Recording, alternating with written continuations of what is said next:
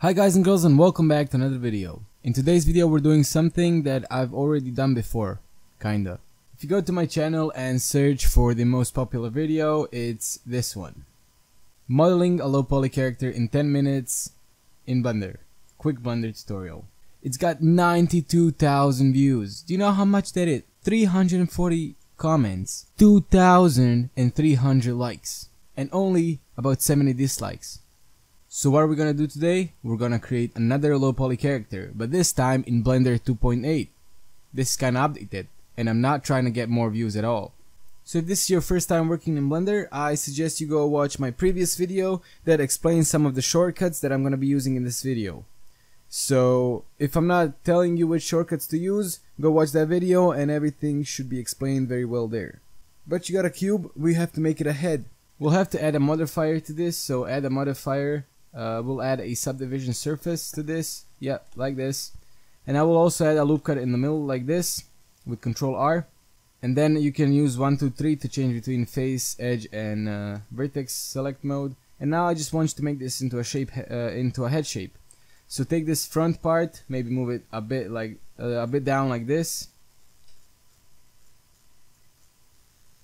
You can only model one side. We can use a mirror modifier to fix the uh, to fix everything later.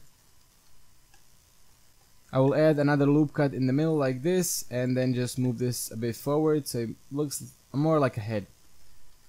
Now what I want to do is uh, go press Z and go into wireframe mode and select the right side of the mesh or the left one. So depends on from which direction you're looking at. But just delete one side of the mesh. Once you do, press X and delete the vertices. Now you got half a head. Now you can go and add a mirror modifier, like this. So we only have to work with one side.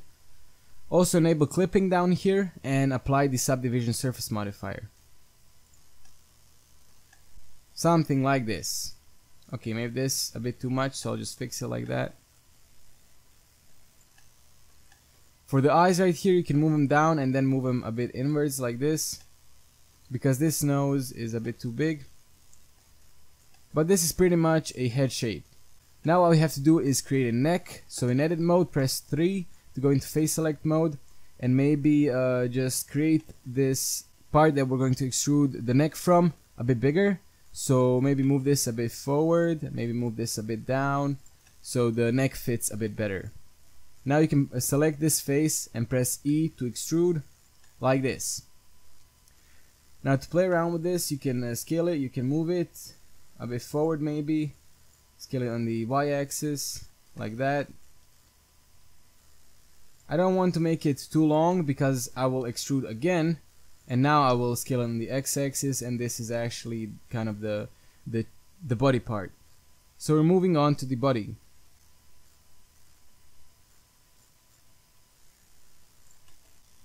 You should have something like this for now, and that is really good if you did this. Now we have to get some kind of a body. So face select mode, select the bottom face, press E to extrude, and maybe to about arm height. Now you can press SZ0 to uh, flatten it and maybe move it a bit forward. If you take a look, this should be our chest. So what I'll do is in edit mode, I'll just move these a bit forward and uh, hope that it looks good later.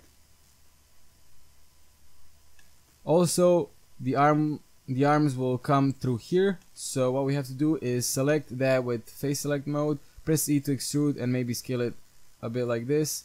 And these will be our arms later. But now Again, select this uh, face and extrude once more. Press SX to scale on the x-axis and SY uh, to scale on the y-axis and maybe move it a bit forward so the back kinda has this curve going here because when the butt comes in here then it's a nice curve.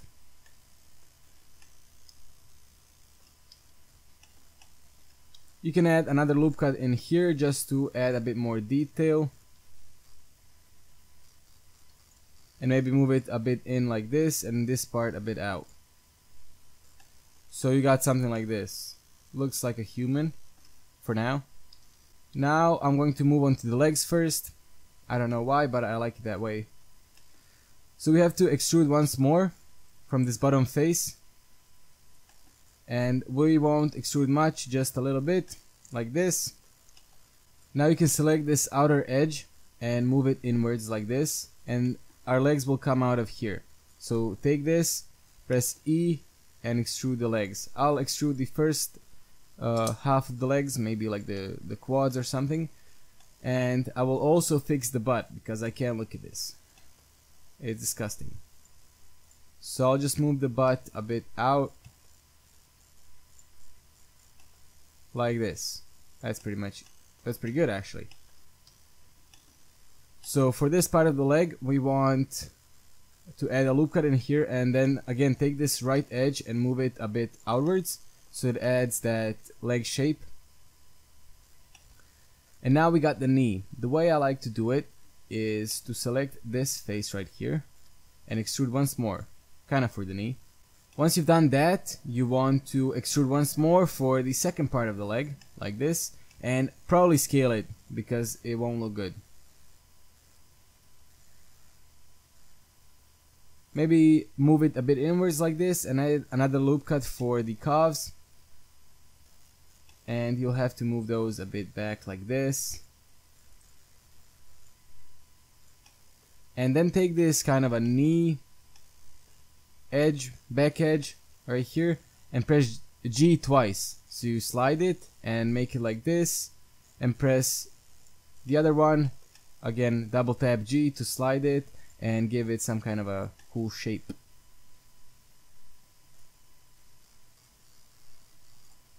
I'll take all of this here and maybe just scale it on the x-axis a bit and maybe on the y-axis also. I'll move it a bit up. While we're at it I'll just take this front part and maybe just move it a bit uh, a bit forward like that Uh, that's pretty good. Once you've done that we want to get the feet. The feet are probably the easiest. So extrude. Take this face. Go to side view. Extrude. Get the foot size. Somehow right? I don't know how to do that. So I just go what, what feels right. Okay so this is way too thin. So we'll take this a right side right here and we'll move it a bit outwards like that add a loop cut in the middle right here.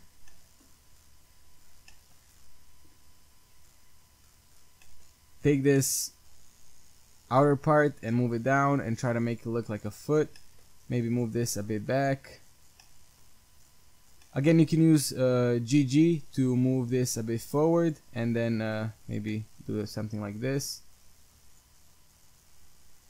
And this looks like a foot I think those are some pretty nice feet. For the knee I might bring it out a bit like this and maybe bring the back part a bit in and make it a bit smaller because I think it's a bit too big. Like that. That's pretty good. We're gonna go for the T-pose here so select this face for the arm extrude once. This will be the bicep thing. Maybe you can press SX0 to flatten it like this and for the bicep I want you to scale it on the Z-axis. And I want you to fix the shape right now because this is not really a square arm. So we'll have to fix that so it's a bit more matching. You can take this face and extrude once scale that so it looks a bit like this and extrude once more. Scale it again. That's kind of the arm shape that you're looking for. I think this is a bit too thin so what I'll do is I'll go into wireframe mode with Z select this part that I don't like and press S and Y to scale on the Y axis maybe that's it that's pretty good. For the shoulders I was thinking I bring them out a bit like this and maybe bring this in. So everything looks pretty good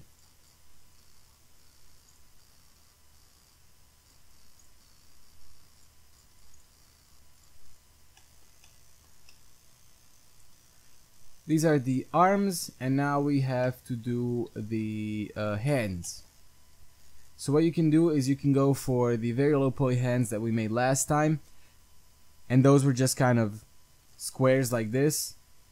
So what I did is I scaled it like this and these were the hands. I'm gonna make a bit more detailed hands right now.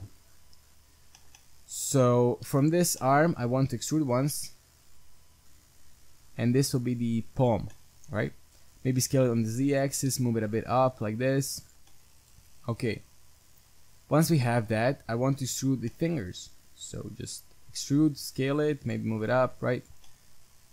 And I of course want to scale this on the y-axis.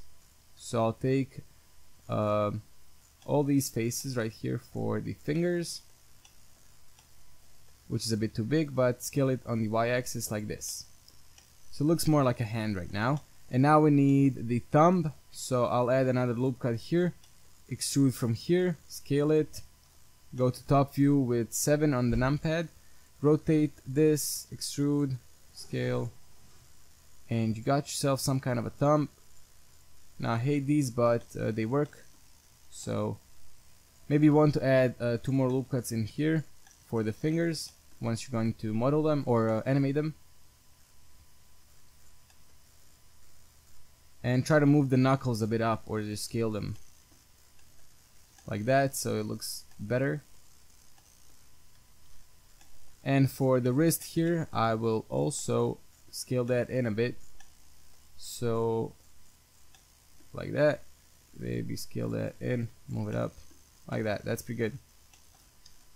So that's our low poly character model for now. You can of course add more detail as always or you can just go ahead and add another subdivision surface and this actually looks pretty good. Also what you can do is you can go and add flat shading. If you press W you can go shade smooth and this looks pretty decent for some kind of a character or you can just use shade flat depends on you but I'll just keep it like this and maybe we'll make a rig next time this helped you leave a like, comment down below, share it with your friends, subscribe, and uh, hopefully I'll see you next time. Bye bye.